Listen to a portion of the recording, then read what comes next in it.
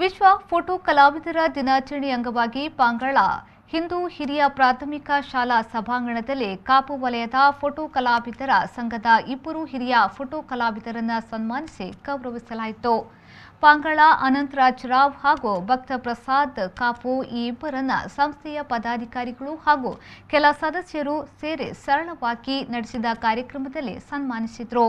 ಈ ಸಂದರ್ಭ ಕಾಪು ವಲಯಾಧ್ಯಕ್ಷ ವೀರೇಂದ್ರ ಪೂಜಾರಿ ಶಿರ್ವಾ ಅವರು ಮಾತನಾಡಿ, ಅದ್ದೂರಿಯಾಗಿ ಮಾಡಬೇಕಾಗಿದ್ದ ಈ ಉತ್ತಮ ಅರ್ಥಪೂರ್ಣ ಕಾರ್ಯಕ್ರಮವನ್ನು ಕೋವಿಡ್ ಹಿನ್ನೆಲೆಯಲ್ಲಿ ಸರಳವಾಗಿ ಆಚರಿಸುವಂತಾಗಿದೆ. ಹಿರಿಯರಾಗಿದ್ದು ನಮ್ಮ ಮಾತೃ ಸಂಸ್ಥೆಯ ಬೆಳವಣಿಗೆಯಲ್ಲಿ ಪ್ರಮುಖ ಪಾತ್ರ ವಹಿಸಿದ ಇಬ್ಬರು ಹಿರಿಯ ಫೋಟೋ ಕಲಾವಿದರನ್ನ ಗುರುತಿಸಿ ಸನ್ಮಾನಿಸಲು ಬಹಳ ಖುಷಿ ಎನಿಸುತ್ತಿದೆ ಅರ್ಹವಾಗಿ ಸನ್ಮಾನ ಪಡೆದ ಇವರಿಂದಾಗಿ ಸನ್ಮಾನದ ಘನತೆ ಹೆಚ್ಚಿದಂತಾಗಿದೆ ಎಂದರು.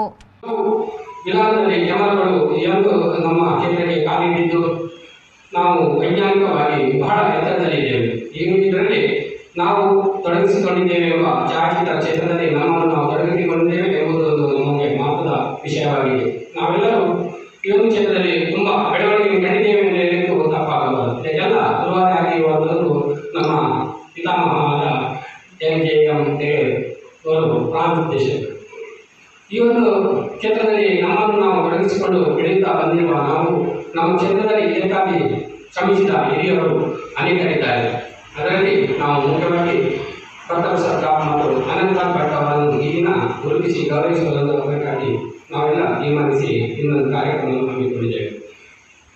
ಈ ಸಂದರ್ಭ ವೇದಿಕೆಯಲ್ಲಿ ಸಂಸ್ಥೆಯ ಪ್ರಮುಖರಾದ ಆರ್ ಎಸ್ ಭಟ್, ಸಂತೋಷ್ ಕಟಪಾಡಿ, ಸಂತೋಷ್ ಕಾಪು, ಸಚಿನ್ ಉಚ್ಚಿಲ, ರವಿ ಕಟಪಾಡಿ ಮೊದಲಾದವರು ಉಪಸ್ಥಿತರಿದ್ದರು.